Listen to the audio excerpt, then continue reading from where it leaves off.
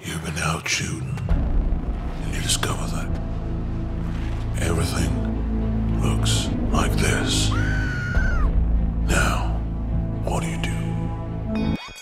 Well, you just need to color correct that cast, because this is what happens when light hits a surface and then bounces off that surface and then onto your subject.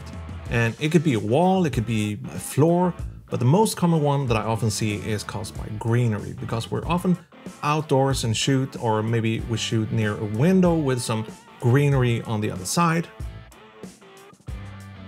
And since the color green is so far from human skin, and that's why green screens are green by the way, it's not just because of the name, it doesn't take a whole lot to kind of mess up the skin tones of your subject and make them look almost seasick.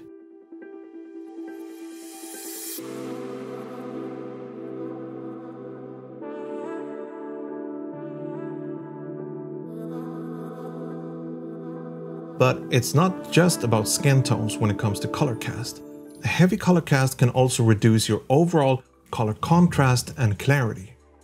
Like here, we've got a lot of green in this shot, but let's see what happens with the colors if we pull back the green a bit with a tint slider. Look at the color of the tree trunks and the people.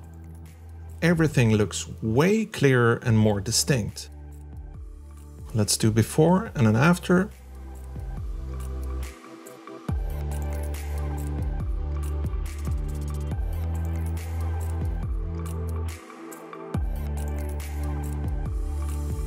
And now let's apply the same method to a shot with more visible skin to see what happens. So let's start with the tint slider and we'll see.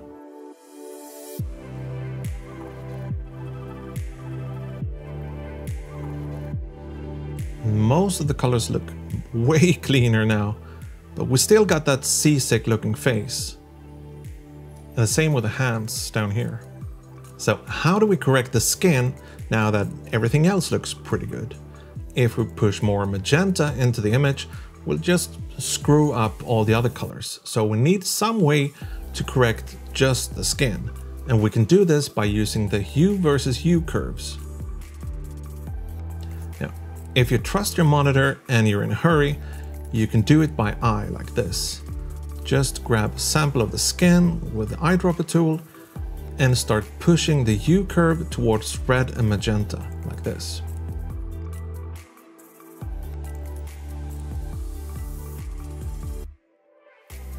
Now, this is definitely a fast and loose way to go about this. It's not as precise as using your vector scope and the flashlight. But I've decided to make a separate video on the vector scope and the flashlight to keep this video more basic and more geared towards color casts in general. So make sure to hit the subscribe button so you get a notification when I publish that next video. So let us summarize all this. Color casts or color reflections are pretty much everywhere and some will screw and mess with your colors more than others. So do be mindful of your surroundings when you're out shooting. And I can also recommend that you try shooting with a flat profile because that way you'll have less of that color cast baked into your footage and it's going to be much easier for you to correct everything in post. Now let me know if you like this video by giving it a thumbs up and I hope to see you in the next one. Okay, bye!